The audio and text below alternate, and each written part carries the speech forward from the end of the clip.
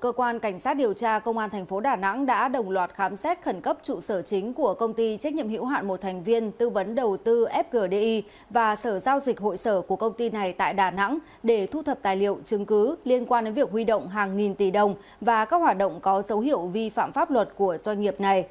Từ khi thành lập cho đến nay, Nguyễn Quang Hoàng là giám đốc xây dựng mô hình kinh doanh của công ty theo hướng vay tiền của người dân bằng hình thức ký kết hợp đồng vay tài sản. Từ tháng 11 năm 2023, việc đầu tư kinh doanh thua lỗ, mất khả năng tài chính nên để duy trì hoạt động công ty, Hoàng đã tổ chức chỉ đạo cho nhân viên lừa đảo chiếm đoạt tài sản của khách hàng dưới hình thức ký hợp đồng vay tiền, sử dụng tiền vay của người sau trả cho người trước. Đến đầu tháng 11 năm 2024, công ty mất khả năng chi trả cho hơn 7 7.500 khách hàng với tổng tiền dư nợ gốc hơn 3.700 tỷ đồng.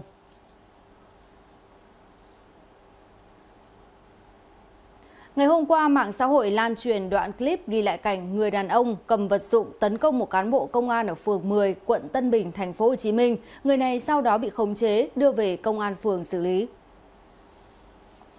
Sự việc diễn ra vào khoảng 13 giờ ngày 8 tháng 11 tại giao lộ đường số 4 Ni Sư Huỳnh Liên, phường 10, quận Tân Bình, thành phố Hồ Chí Minh. Người dân chứng kiến người đàn ông có biểu hiện không được bình thường, trên tay cầm cây gỗ đuổi đánh một cán bộ công an. Người đàn ông này sau đó dùng vật dụng ném về phía cán bộ công an nhưng không trúng. Ngay sau đó, lực lượng công an và người dân xung quanh đã ập vào khống chế đối tượng, đưa về trụ sở công an phường xử lý liên quan đến vụ hai nhóm thanh niên dùng súng, công cụ hỗ trợ, hung khí gây dối tại khu vực cây xăng 26, phường Tân Phong, thành phố Biên Hòa vào ngày 17 tháng 10. 8 đối tượng vừa bị công an thành phố Biên Hòa, tỉnh Đồng Nai tạm giữ về hành vi gây dối trật tự công cộng. Nguyên nhân vụ việc xuất phát từ mâu thuẫn giữa hai nhóm thanh niên do Nguyễn Duy Linh và Lương Huy chủ mưu. Cả hai đã gọi thêm bạn bè hẹn nhau đến trước cây xăng 26 phường Tân Phong để giải quyết mâu thuẫn. Khi gặp nhau tại đây, hai nhóm đã dùng súng, công cụ hỗ trợ bắn về phía đối phương và đập phá xe ô tô, xe máy để dàn mặt nhau. Thấy có lực lượng công an, cả hai nhóm đã bỏ lại phương tiện tìm cách tẩu thoát. Sau khi vụ việc xảy ra, lực lượng công an đã truy bắt các đối tượng liên quan. Cơ quan Cảnh sát điều tra Công an huyện Hàm Thuận Nam, tỉnh Bình Thuận đã bắt giữ Nguyễn Thị Kim Phượng, chú xã Phong Nẫm, thành phố Phan Thiết và Nguyễn Thị Đài Trang là em ruột của Phượng về hành vi trộm cắp tài sản.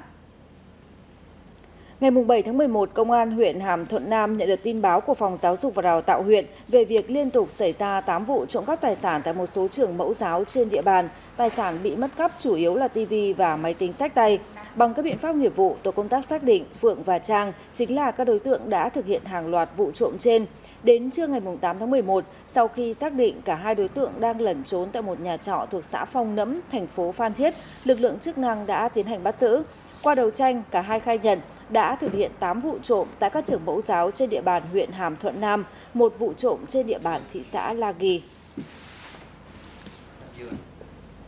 Quá trình mở rộng điều tra vụ án lừa đảo chiếm đoạt tài sản, rửa tiền và vận chuyển trái phép tiền tệ qua biên giới, cơ quan cảnh sát điều tra công an thành phố Hồ Chí Minh vừa khởi tố bắt tạm giam thêm hai bị can về hành vi vận chuyển trái phép tiền tệ qua biên giới.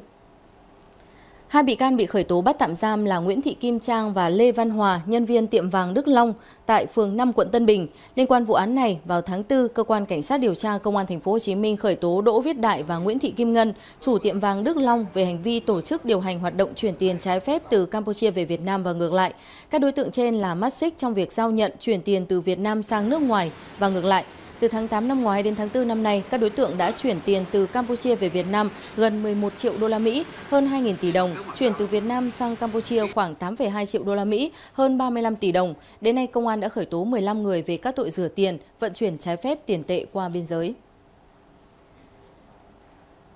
Tấn công cảnh sát giao thông khi bị kiểm tra nồng độ cồn, Vũ Quyết Thắng trú tại quận Bình Thạnh, thành phố Hồ Chí Minh đã bị công an thành phố Thuận An tỉnh Bình Dương khởi tố vụ án khởi tố bị can về hành vi chống người thi hành công vụ. Theo điều tra, vào khoảng 22 giờ ngày 5 tháng 11, Tổ tuần tra đặc biệt 171 Công an tỉnh Bình Dương đang làm nhiệm vụ trên quốc lộ 13 đoạn ngã tư cầu ông bố thuộc phường Bình Hòa, thành phố Thuận An. Thời điểm này, tổ tuần tra tiến hành kiểm tra và phát hiện đối tượng Vũ Quyết Thắng điều khiển xe mô tô trong hơi thở có nồng độ cồn nên đã lập biên bản xử lý vi phạm. Trong quá trình kiểm tra xe, Thắng bất ngờ dùng tay đấm vào vùng mặt của một đồng chí cảnh sát giao thông. Tổ tuần tra đã khống chế bàn giao đối tượng cho công an thành phố Thuận An để xử lý theo quy định. Sáng nay, Tòa án Nhân dân tỉnh Con Tum đã mở phiên tòa hình sự sơ thẩm xét xử và tuyên phạt bị cáo Trần Quốc Đạt, trú tại huyện Đắc Đoa, tỉnh Gia Lai, 6 năm tù về tội tàng trữ trái phép vũ khí quân dụng. Theo cáo trạng, đầu năm nay Trần Quốc Đạt đã mua một khẩu súng ngắn và 5 viên đạn qua Zalo để sưu tầm. Ngày 12 tháng 2 năm 2024, thấy cò súng bị hỏng nên khoảng 20 giờ cùng ngày, Đạt nhờ một người tên là Nhéo trở đến thành phố Con Tum, tỉnh Con Tum để tìm người sửa súng. Trên đường đi, Nhéo nhìn thấy tổ công tác công an tỉnh Con Tum đang làm nhiệm vụ kiểm tra nồng độ cồn nên Nhéo đã phanh xe làm Đạt ngã ra đường rồi tiếp tục điều khiển xe bỏ chạy. Còn Đạt bị tổ công tác khống chế, lập biên bản, thu giữ một khẩu súng và 5 viên đạn. Công an thành phố Tân An, tỉnh Long An đang vào cuộc điều tra, xác minh vụ kho gạo trên quốc lộ 1 thuộc phường Tân Khánh, thành phố Tân Sơn bị tạt sơn.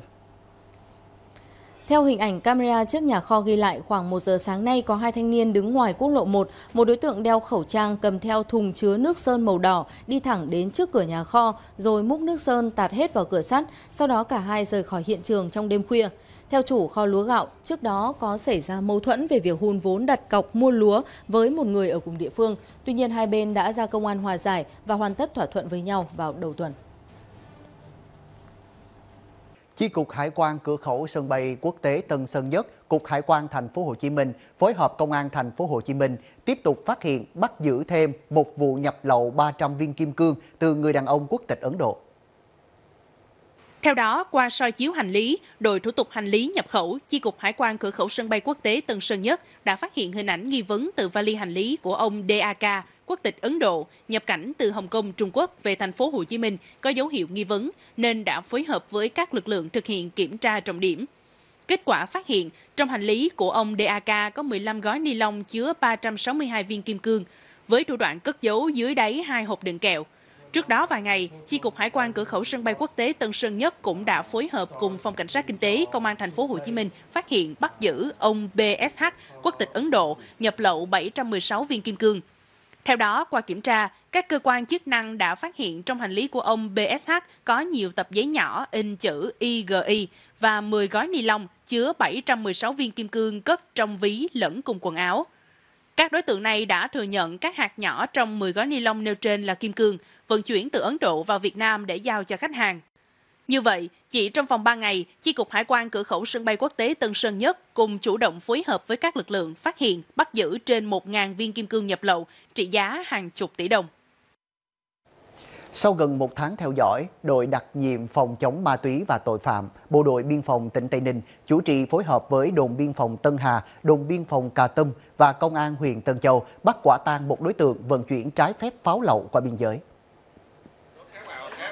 Thời điểm trên, tổ công tác bắt quả tang Nguyễn Văn Quốc, sinh năm 1978, thường trú xã An Viễn, huyện Trảng Bom, tỉnh Đồng Nai, sử dụng xe ô tô mang biển số 60A 82586 đang vận chuyển trái phép 158 kg pháo lậu từ hướng biên giới Campuchia vào nội địa.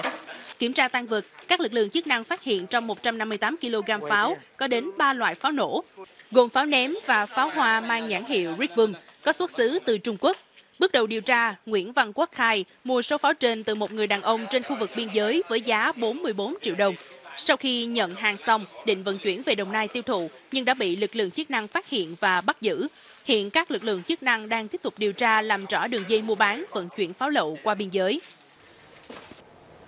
Cơ quan cảnh sát điều tra Công an thành phố Hồ Chí Minh vừa khởi tố hai đối tượng về các tội sử dụng mạng máy tính, mạng viễn thông, phương tiện điện tử thực hiện hành vi chiếm đoạt tài sản và thiếu trách nhiệm gây hậu quả nghiêm trọng. Trong khoảng thời gian từ tháng 12 năm 2021 đến ngày 26 tháng 4 năm 2022, đối tượng Phạm Thị Tường An đã chiếm đoạt số tiền hơn 7,1 tỷ đồng từ nhiều tài khoản khác nhau. Căn cứ kết quả điều tra, cơ quan cảnh sát điều tra công an thành phố Hồ Chí Minh đã ra quyết định khởi tố vụ án hình sự, quyết định khởi tố bị can đối với Phạm Thị Tường An, sinh năm 1988, là chuyên viên tác nghiệp tín dụng của ngân hàng, về tội sử dụng mạng máy tính, mạng viễn thông, phương tiện điện tử thực hiện hành vi chiếm đoạt tài sản. Khởi tố bị can, lệnh bắt bị can để tạm giam đối với Võ Thị Hà, sinh năm 1992, là kiểm soát viên ngân hàng về tội thiếu trách nhiệm gây hậu quả nghiêm trọng. Trong phần xét hỏi phiên tòa phúc thẩm bị cáo Trương Mỹ Lan và 47 đồng phạm trong giai đoạn 1 vụ án xảy ra tại tập đoàn Vạn Thịnh Phát, Ngân hàng Thương mại Cổ phần Sài Gòn SCB và các đơn vị có liên quan, bị cáo Trương Mỹ Lan cựu chủ tịch tập đoàn Vạn Thịnh Phát cho biết đã thưởng tiền cho nhiều người nguyên là lãnh đạo và nhân viên SCB. Trả lời về lý do thưởng tiền cho nhân viên, bà Trương Mỹ Lan cho biết vì nhân viên SCB phải chịu nhiều áp lực, đặc biệt trong bối cảnh SCB gặp khó khăn khi tái cơ cấu. Do đó, bị cáo cảm thấy cần hỗ trợ để giữ chân những người đã cống hiến hết mình cho SCB. Bị cáo Lan còn cho biết đã thưởng cho nhiều nhân viên khác nhau, không riêng gì bị cáo Bùi Anh Dũng, cựu chủ tịch ngân hàng SCB. Tại tòa, bị cáo Trần Thị Mỹ Dung, cựu phó tổng giám đốc SCB xác nhận đã nhận 300.000 cổ phiếu trị giá 3 tỷ đồng từ bị cáo Lan. Trong quá trình điều tra, tài sản của bị cáo Dung bị ngăn chặn lên đến 470.000 cổ phiếu. Bà Dung đồng ý sử dụng tài sản này để khắc phục hậu quả vụ án. Bị cáo Trương Khánh Hoàng, cựu quyền tổng giám đốc SCB, được bà Lan thưởng 100 triệu cổ phiếu trị giá 100 tỷ đồng. Bị cáo Dũng đồng ý hoàn trả lại tài sản để khắc phục thiệt hại và đề nghị hội đồng xét xử xem xét vai trò và hoàn cảnh phạm tội để giảm nhẹ hình phạt. Trong khi đó, Võ Tấn Hoàng Văn, cựu tổng giám đốc SCB cho biết mình không nhận khoản thưởng nào khác ngoài tiền lương và không rõ lý do bị cáo Lan tặng thưởng cho các bị cáo khác. Đối đáp lại, bà Trương Mỹ Lan giải thích việc thưởng cổ phiếu là để hỗ trợ nhân viên chịu áp lực vào thời điểm tái cơ cấu SCB, nhưng bị cáo Văn đã nghỉ trước khi việc này diễn ra.